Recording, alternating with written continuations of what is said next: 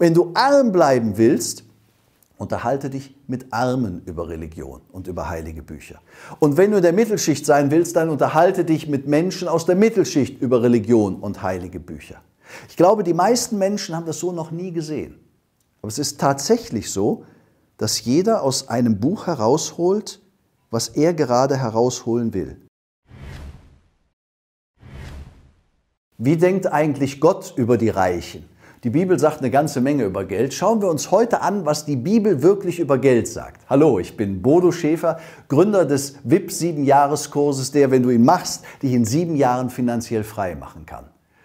Ich habe etwas ganz Interessantes von Martin Walser gehört, dem großen deutschen Schriftsteller. Er hat gesagt, niemand liest mein Buch, jeder liest sein Buch.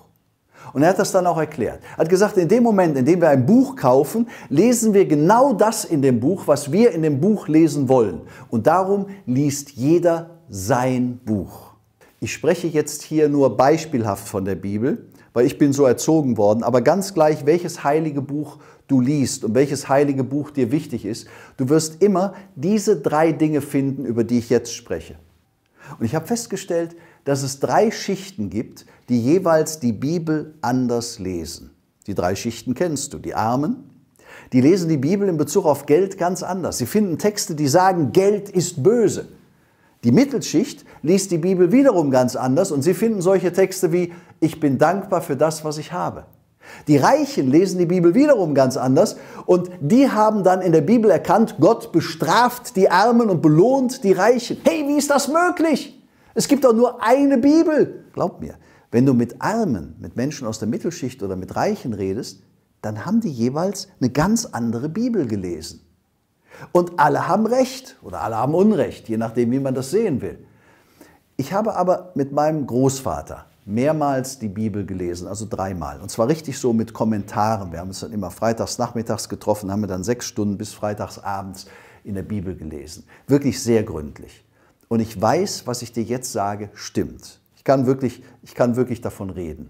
Lass mich dir etwas Wichtiges vorweg sagen. Die meisten Persönlichkeiten, die uns in der Bibel als Vorbilder geschildert werden, die waren sehr reich, also wirklich sehr reich. Ungefähr 90 Prozent aller Menschen aus der Bibel, die da für uns als Vorbilder aufgebaut werden, waren extrem reich. Darum kann es gar nicht sein, dass die Bibel angeblich gegen Reichtum spricht oder für Armut. Das ist Quatsch. Was lesen die für eine Bibel? Aber es stimmt, dass es unterschiedliche Texte gibt. Und jeder kann die für sich interpretieren. Zum Beispiel die Armen, die lesen gerne einen Text aus Matthäus 19, 21 bis 26. Und ich sage es jetzt einfach mal mit meinen Worten, das Bibeldeutsch ist nicht immer so ganz prickelnd. Wenn du ein guter Mensch sein willst, steht da, dann verkaufe einfach alle deine Besitztümer und gib das Geld den Armen. Und dann wirst du einen Schatz in deinem Inneren haben. Und dann folge mir nach. Menschen aus der Mittelschicht, die lesen dann gerne zum Beispiel Hiob 36, Vers 11. Da steht, wenn sie mir gehorchen und mir folgen, dann werden sie den Rest ihres Lebens in Wohlstand und ihre Jahre in Zufriedenheit verbringen. Eigentlich ein Gegensatz, oder? Und die Reichen, für die gibt es da eine ganz hübsche Geschichte in der Bibel, nämlich in Matthäus 25. Da will ein reicher Mann auf Reisen gehen. Und er hat drei Diener. Und er sagt, jedem der drei gebe ich eine bestimmte Geldsumme. Und zwar je nachdem, wie gut sie mir gedient haben. So gibt er dem ersten zehn. Zehn Geldstücke. Talente heißt das da. Dem zweiten gibt er fünf und dem dritten gibt er nur einen. Übrigens wird die Geschichte in der Bibel mehrmals erzählt, dann sind da andere Geldsummen genannt, aber es ist immer genau diese deutliche Unterscheidung. Ich nehme jetzt also die hier aus Matthäus, dann sind es einmal, der erste bekommt zehn, der zweite fünf, der dritte eins.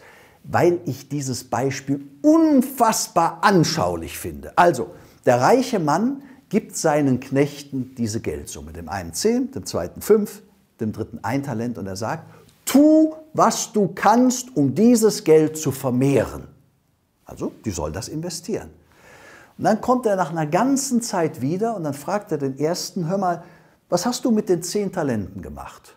Und er sagt, naja, ich habe deine Worte gut behalten, ich habe richtig Gas gegeben, ich habe die Kohle verdoppeln können. Hier ist dein Geld zurück, doppelt so viel. Und der Reiche lobt ihn über die Maßen. Dann fragt er den zweiten, hey, was hast du denn mit deinen fünf Talenten gemacht? sagt der Stolz auch, ich habe die verdoppelt. Und auch ihn lobt der reiche Mann über die Maßen. Dann fragt er den dritten, der nur ein Talent bekommen hat, was hast du denn damit gemacht? Und der antwortet, naja, hey, ich hatte Schiss, also in der Bibel steht es ein bisschen anders, aber so ist der Tenor. Weil du so ein strenger Herr bist, hatte ich Schiss und darum habe ich mein Talent lieber ganz vorsichtig vergraben. Ich habe es wieder ausgebuddelt, als ich gehört habe, dass du zurückkommst. Hier ist es. Und der reiche Mann verflucht ihn. Er nennt ihn einen bösen und faulen Knecht. Er beschimpft ihn. Er nimmt ihm das eine Talent weg und gibt es dem, der aus 10 20 gemacht hat. Und dann gibt es etwas, das steht eben auch in der Bibel, was die meisten Menschen aber nicht lesen wollen. Und das ist ein ganz wichtiger Satz, nämlich der Reiche sagt dann, der, der viel hat, dem wird noch mehr gegeben. Und der, der wenig hat, dem wird auch das wenige noch weggenommen werden. Und dann sagt der reiche Herr am Ende noch, der offensichtlich ein Synonym zu Gott ist, wirft diesen wertlosen Knecht nach draußen in die Dunkelheit. Boah, ist das nicht krass? Ist das nicht krass, überhaupt so eine Geschichte und dann so vollkommen gegensätzliche Dinge in der Bibel? Ich glaube, es ist einfach wichtig, dass wir verstehen, es ist wie im normalen Leben. Wir müssen uns die Dinge heraussuchen, die uns entsprechen. Die Dinge, die uns entsprechen. Ganz ehrlich, als ich das jetzt eben so vorgetragen habe, was die Armen da lesen, die Mittelschicht und die Reichen, was hat dich am meisten angesprochen? Der Satz der Armen, der Mittelschicht oder der Reichen? Du kannst es natürlich machen wie Mark Twain. Der hat mal gesagt, hey, ich möchte mich lieber nicht festlegen, ob ich jetzt im Himmel oder in der Hölle sein möchte. Denn ich habe an beiden Orten Freunde. Ich weiß, das ist ein heißes Thema, Religion und Glauben. Denn das ist ja nichts, was wir belegen können. Das ist ja nichts, was wir wissen können. Es ist ja eben nur ein Glaube. Ich denke, dass es wichtig ist, dass wir uns mit den Menschen über Glauben und Glaubenssätze unterhalten, die das Leben führen, das wir gerne haben wollen. Lass es mich ganz klar sagen, wenn du reich werden willst, dann unterhalte dich mit reichen Menschen auch über Religion und Bibel oder über andere heilige Bücher. Wenn du arm bleiben willst, unterhalte dich mit Armen über Religion und über heilige Bücher. Und wenn du in der Mittelschicht sein willst, dann unterhalte dich mit Menschen aus der Mittelschicht über Religion und heilige Bücher. Ich glaube, die meisten Menschen haben das so noch nie gesehen. Aber es ist tatsächlich so, dass jeder aus einem Buch herausholt, was er gerade herausholen will. Und so holt auch jeder aus der Bibel heraus und aus anderen heiligen Büchern, was er erkennen will. Du hast verstanden, dass es mir nicht um die Bibel geht, es geht einfach um exemplarisch um heilige Bücher. Wir holen das raus, was unseren Lebensweg rechtfertigt. Als ich mein Buch geschrieben habe, Der Weg zur finanziellen Freiheit, da hat mich Papst Johannes Paul II. eingeladen. Und ich hatte die Gelegenheit, eine Stunde mit ihm zu sprechen. Das ist sehr außergewöhnlich und ich war auch sehr tief berührt. Papst Johannes Paul II. hat mich extrem begeistert. Ich bin mit Vorbehalten dahin, sage ich ganz ehrlich, aber ich war einfach so positiv überrascht, so ein weiser, kluger, freundlicher, liebenswerter Mann. Und wir haben auch über Geld gesprochen. Er hat ja mein Buch gelesen gehabt, was ich schon unglaublich fand. Und er hat mir gesagt, sag den Menschen, Geld ist gut. Sag ihnen, sie brauchen Geld für ein freies, gutes Leben. Und dann hat er mein Buch, meine Stiftung und auch mich gesegnet. Und das war für mich sehr berührend.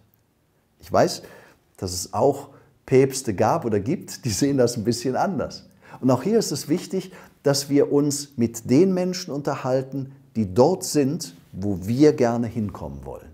Mein Rat, umgib dich mit wirklichen Vorbildern. Menschen, die das Leben haben, das du einmal leben möchtest. Ich hoffe, dieses Video hat dir gefallen und wenn du Leute kennst, die das hier auch erfahren sollten, dann leite es gerne weiter. Und wenn du denkst, der oder die könnte dieses Buch hier auch gebrauchen, der Weg zur finanziellen Freiheit, dann leite dieses Video weiter. Denn so erfahren deine Freunde, dass ich mein erfolgreichstes Buch verschenke, was über 10 Millionen Mal verkauft wurde. Und abonniere meinen Channel, wenn du mehr solcher Videos möchtest, dann bist du automatisch dabei, wenn ich dir die nächsten Tipps gebe. Und wir schaffen es zusammen, dass du deine Träume lebst.